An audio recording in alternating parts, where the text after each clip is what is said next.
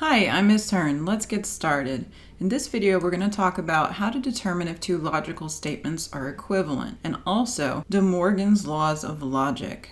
So two statements are logically equivalent, which is denoted with basically an equal sign but with three bars instead of two, if they have the same truth value for every possible situation. So here I have two truth tables. In the truth table on the left, we are analyzing the statement not P or not Q. In the truth table on the right, we're analyzing the statement negation of P and Q. We'd like to know if they're logically equivalent, which we'll be able to tell when we get to the last truth value column. So here we go. First, we're going to negate P which means take all the opposite truth values that the original statement P had. So we'll have false, false, true, true. And then we're going to negate Q, and Q has the truth values true, false, true, false. So not Q is false, true, false, true.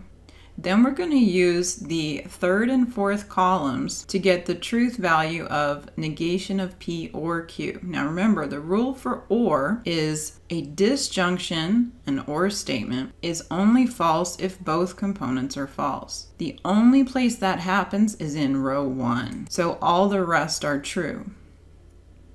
Now let's complete the truth table on the right. So on the right, first complete the AND part of the statement because of the parentheses. So our first column analyzes P and Q. The rule for the conjunction AND is that it's only true when both components are true. And the only place that happens is in the first row.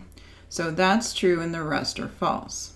Now we're going to use column 3 to get column 4. We have to negate the values in column 3 to get the values in column 4, which means just the opposite. So since column 3 had true, false, false, false, column 4 has false, true, true, true. And now we compare the last column from the truth table on the left to the last column from the truth table on the right, and you see they have exactly the same truth values. So that tells us that these statements are logically equivalent. Negation of P or negation Q is equivalent to the negation of parenthesis P and Q. Now we're going to look at two very similar statements to the ones we just looked at. The statement on the left, negation P and negation Q, it's similar to negation P or negation Q that we did in in the previous slide, but we have an and instead of an or. And in the statement on the right, negation of parenthesis P or Q, we have a an or statement instead of the and statement we had on the previous slide. So how would we determine if these two statements are equivalent? Well, we would need to set up truth tables to determine those values. I have set up a truth table. I'm actually going to combine the truth values from both of these into one table. It is going to require five columns because altogether there are five connectives to analyze. In the statement on the left, we have two negations and an and.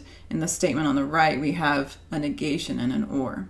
So let's start with the statement on the left, negation P and negation Q. Once again, we're going to need the negation of P, and then we're going to need the negation of Q, and then we're going to need the whole statement. For the statement on the right, we're going to need P or Q first because it's in parentheses, and then we're going to need the negation of P or Q. Now, the negation of P is the opposite of the values in the first column, the P column. That's going to be false, false, true, true. The negation of Q is the opposite of the values in the Q column, the second column, so that's going to be false, true, false, true. An AND statement is only true when both components are true. So using columns 3 and 4, we see that the only place that there are two truths is in the bottom row. So that's going to be true and the rest are going to be false. Now let's analyze P or Q. P or Q requires us to look back to the first two columns where we have P and Q and use the or connective, which says that a statement is only false if both components are false, which only happens in the fourth row at the bottom. So we have three trues and a false. Now we're going to use the column we just created and we're going to negate that to get the last column. So the opposite of those truth values would be false, false, false, true. Now we're going to compare the values of the statement negation P and negation Q to the values of negation of parentheses P or Q, and we see that they're the same. That means they're equivalent statements. They're logically equivalent. So the answer to the question, are the following two statements equivalent, is yes, they are. So the two types of equivalent logical statements that we've just seen are listed here on the screen. They are each one of De Morgan's laws for logic. This is an important concept because it allows us to negate a conjunction by writing it as a disjunction and vice versa. Notice that the negation of the and statement at the top becomes an or statement. That's very similar to what we learned in the set theory chapter of our class, where we had A intersect B complement. Remember, intersection is an and statement. A intersect B in parentheses complement is equal to A complement union B complement. Remember, union was an or statement. And these were De Morgan's laws for sets. So, in a way, we're not learning something new, we're just rewriting the set theory De Morgan's laws in logic notation. So let's use De Morgan's laws of logic to find a negation of each of these statements. So the first statement, A, is I made an A or I made a B. This statement has two components. The first component is I made an A. The second component is I made a B, and they're joined with the OR statement. So what we're trying to establish is what would be the negation of that situation. So I could just say, well, it's not the case that I made an A or I made a B, but to be more clear, what we're going to do is apply De Morgan's law. De Morgan's law for negating a for negating a disjunction an or statement says a negation of P or Q is equivalent to negation P and negation Q.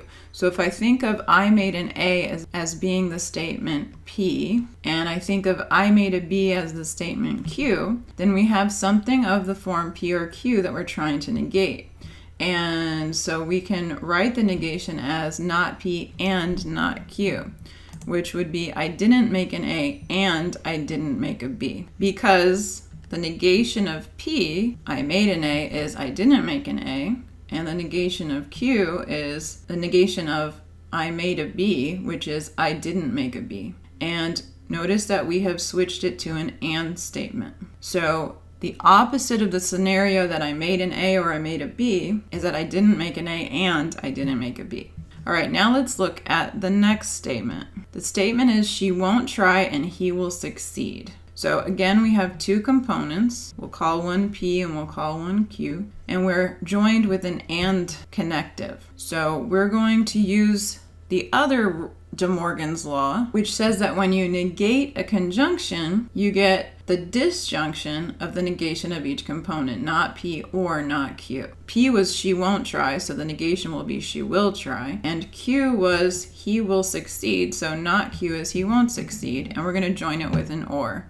So we get she will try or he won't succeed. I hope you found this video helpful. If you did, please give it a thumbs up. That will help other students to find the video. You can also subscribe to my channel for more math videos or follow the link for more videos about logic.